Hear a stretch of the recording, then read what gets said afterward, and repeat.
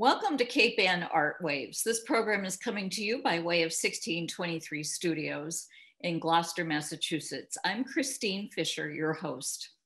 Every week, we have the opportunity to learn from talented artists and makers, and I am so pleased to welcome the highly accomplished, widely revered sculptor turned painter, Ruth Mordecai. Painting for 40 years with a lovely studio located in her home here in Gloucester, Ruth's work is powerful and rooted in symbolism that reflects her story. Ruth has been represented by the Matthew Swift Gallery since 2014. She has a solo exhibition, which is so exciting, coming up very soon, beginning October 10th and running through November 1st at the Matthew Swift Gallery at 189 Main Street in downtown Gloucester. Her artwork is in major public and private collections, to include the Boston Museum of Fine Arts, Israel Museum located in Jerusalem, Rose Art Museum, and the Wiggin Prints and Drawings Collection of the Boston Public Library. They actually own 35 works collected from 1975 to 2013. Additionally, the Cape Ann Museum has purchased Ruth's work as part of their permanent collection. Ruth is on the board of the Rocky Neck Art Colony and was the director of the Goetemann Artist Residency for seven years and is deeply committed to mentoring younger artists. Ruth's book, titled Ruth Mordecai, and I have to show you a copy, is in its second printing and can be purchased through the bookstore, through the Matthew Swift Gallery, as well as directly through Ruth. She's going to talk about the book a little bit later in our, in our interview. Well, welcome, Ruth. It's great to have you here. Thank you. I've been one of your many champions, as you know. Uh, I am going to mention a quote that I think will kick things off. I think my strength, strength is that I come to painting from a place of sculpture. Let's use that as a jumping off point to discuss your journey. And we also have a lovely image that you're going to speak to as well.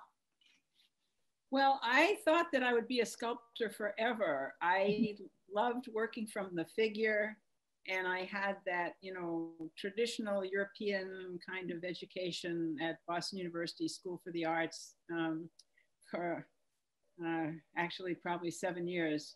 And I, um, uh, it, it, what happened was, as I became influenced by seeing the work of Matisse and Marini and mm-hmm. their journey from the figure to abstraction to a more minimal kind of expression, I kind of began to follow that. And so I, uh, I gradually left the figure, moved into clay slab, moved into welding, and the welding became a line. Um, mm-hmm. it all revolved around gesture, mm-hmm. finding the the simplest gesture, the strongest gesture within the form, and it kind of took me away from sculpture and into drawing. Mm-hmm, mm-hmm. The piece that's up um, is the um, that is the final piece from the series in 2018, which is called The Missing Letter, and it was a very complex uh, series of images and symbols, which became simplified into this piece that you see on the screen. So mm-hmm. I'm always happy when the when the complexity gets reduced to what I feel is the most important. Form. Right is the essence of it. I think that's one of the reasons why I've always been so drawn to your paintings because I do feel that that uh, structure. I do feel that sculptural, you know, in, in, in, the bones of the painting, if you will. Let's transition and talk about, you touched on it briefly, but let's talk more about your influences and your inspirations. Well, um,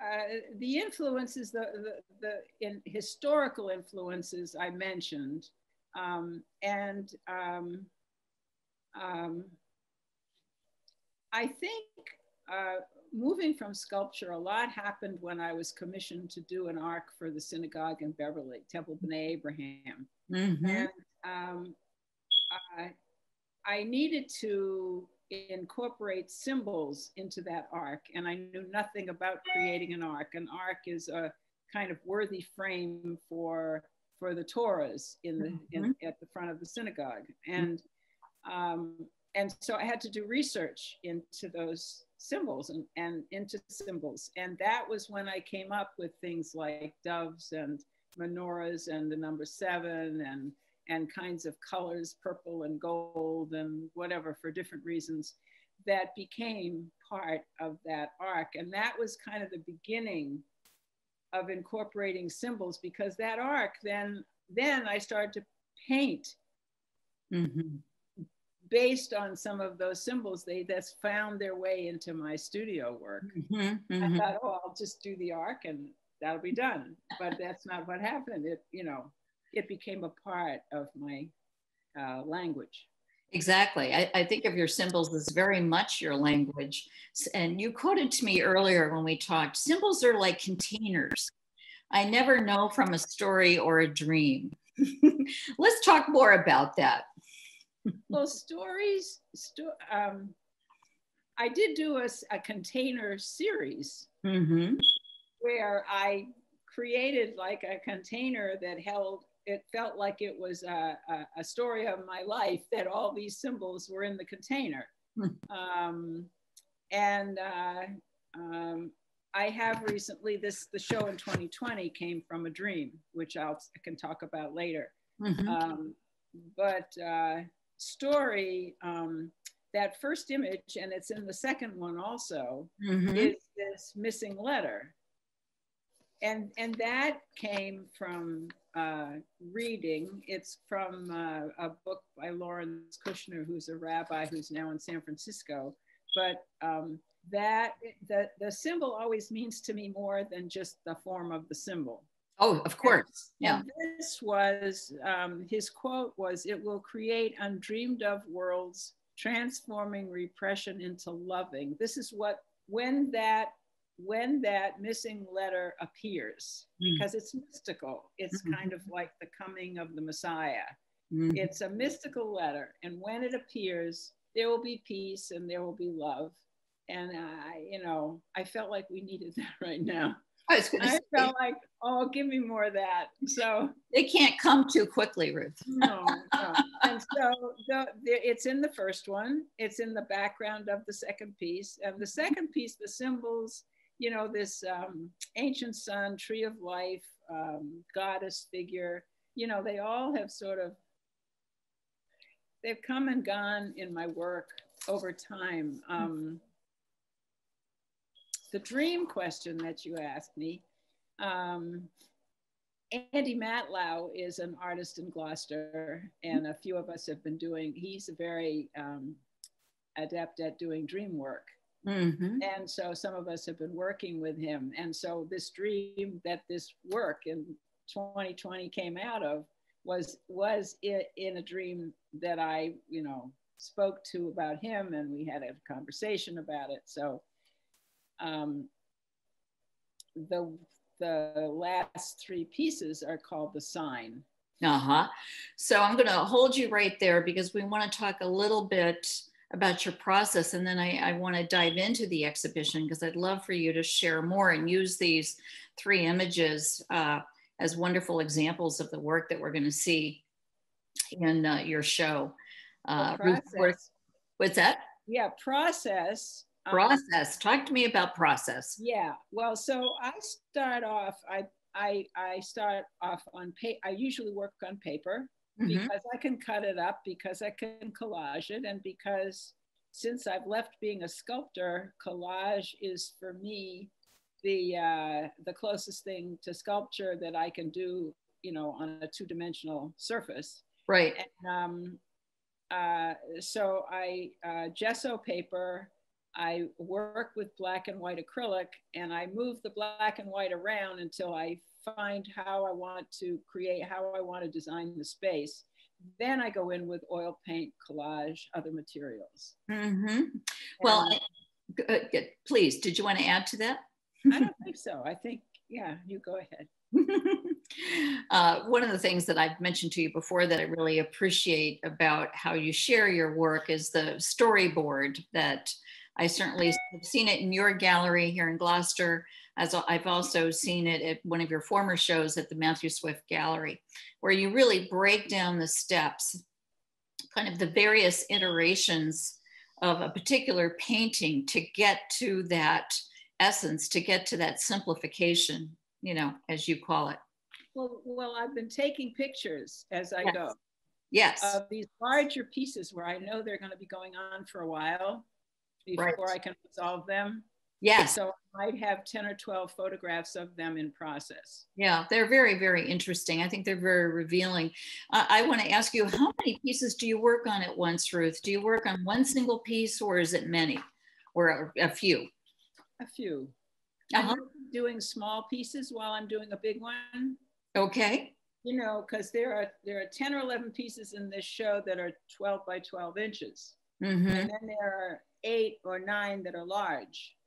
So while I'm working on a large piece where I can't resolve it, I might do some smaller pieces that are a takeoff from it where at least I know, well, I can resolve that. Yes, yeah, yeah, yeah. Yeah. And I bet one informs the other, you know, through that process. Absolutely. Yeah, which makes so much sense. So this is a perfect segue. You've paved the way. We've got three images that we'd like to talk to uh, regarding the exhibition that you have coming up at Matthew Swift uh, Gallery, the Matthew Swift Gallery here in downtown Gloucester. And again, I'm going to reiterate the dates. It opens October 2nd and it goes through November 1st. So talk to us about that uh, exhibition. Oh, opens October 10th. 10th. October 10th. October 10th. Yeah. um, which is tomorrow. we, don't, we, don't, know when this will be coming That's out. right. Uh, this will be a little later. Yeah. um, so, uh, well, the large uh, horizontal that's uh, black and white has some some red in it or rust color. Um, uh, that's a combination of all of, of so many images, so many symbols of uh, uh, the the missing letter and and um, uh, the ancient sun and something to do with the goddess in the middle, maybe. But I didn't know what was going to be happening with it. I didn't have that intention when I started it. Mm-hmm. And it's a lot of collage pieces. It's it's I've taken from old old work that I've cut up. You know, I save old work that I like a part of it, but I don't like the whole thing. So I have a whole pile of things like that. Mm-hmm. And suddenly all these pieces start to make sense together. Mm-hmm. And um, and so, uh, but that was very complex. And the next piece, which has the um, uh, goddess figure and on the right, the tree of life, is 12 by 12 inches mm-hmm. and was a takeoff from that piece where I started to get clearer on simplifying it. Mm-hmm. The last piece, which is the 40 by 40 inches by 60 inches wide, um, has many layers of black and white, and I just kept it up there and just kept simplifying it. Mm-hmm. And uh, I, am actually very pleased. I, am very pleased with that last piece. Um, mm-hmm. Um, it feels that there's just enough information, but not too much. Right, right, right. Well, I can't wait to see your exhibition.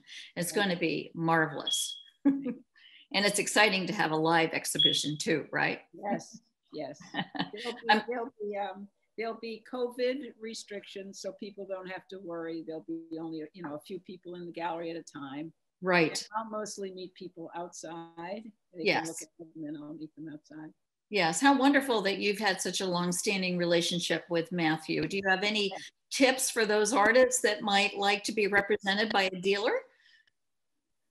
Oh, that's a tough one.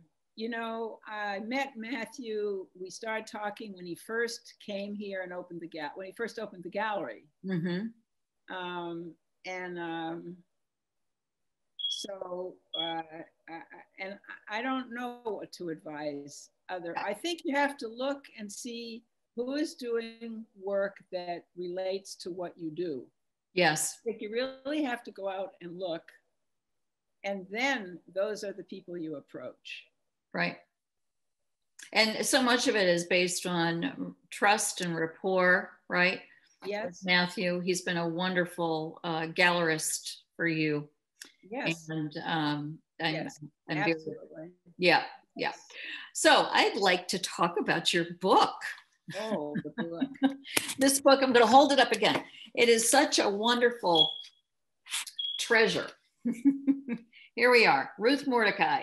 And I'm sorry for the glare of my lights that are above me. Um, but talk to us, Ruth. Your book has been out for a little bit. You're now into your second printing, which is terrific.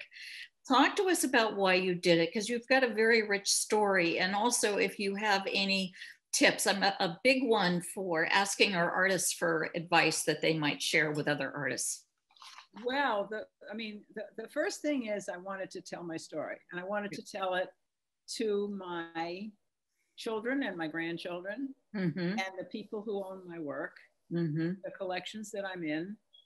The second thing is that I wanted other artists to know that they didn't have to have a book produced by Rizzoli because they had a show at the Museum of Modern Art, that they could mm-hmm. make a decision to make their own book in their own way and that anybody who wants to know how I did it or information about it, I'd be delighted to talk to you about it and, mm-hmm. and talk to you about my process in doing it. Um, the other thing was that um, this is a time of, uh, of so much anti Semitism, anti Muslim, anti people of color, anti Mexican. Mm-hmm. I just I felt that the Jewish part of my story was an important one to tell. So it's not that that's all the work is, that's mm-hmm. part of the work, it's part of who I am. You know, yes. we're all made up of lots of parts, and that's one of the important parts of me. And I wanted, especially at this time, to express that. Mm-hmm. And that, uh, uh, so there's a, a, a section written by Ori Soltes, who's from Georgetown, um, who's a, a, a, Jewish scholar, and he write has he writes one of the statements in the book. Mm-hmm. Uh, the other statement is Judith Tolnick Champa, who was the uh, editor of uh, Art New England for a while. So um, I was very um, pleased that they wrote in the book. Well, you know, I, I always have felt, and I've said this to you before, but I have felt that your paintings reveal a certain amount of wisdom. I mean, they really impact that for me. So um, I want to thank you for that. Ruth, it's been such a pleasure. I'll hold that. I'll hold that. yeah, yeah. It's been such a pleasure to talk to you real pleasure. Thank you so much for sharing so much Thank of yourself. You, I'm, yeah. I'm, just thrilled that you wanted to do it. So oh, I'm thrilled too. I'm thrilled that the timing has worked out so well. Um, and I want to say to our listeners, for those of you that would like to check out more of Ruth's work, please go to her website, which is ruthmordecai.com. Also, check out Matthew Swift Gallery's website as well. In closing, I want to say that this recording can be accessed on 1623 Studio social media platforms to include Facebook, YouTube, Instagram, and Channel 12. So again, I'm Kristine Fisher. Thank you, Ruth Mordecai. What a treat. See you next time.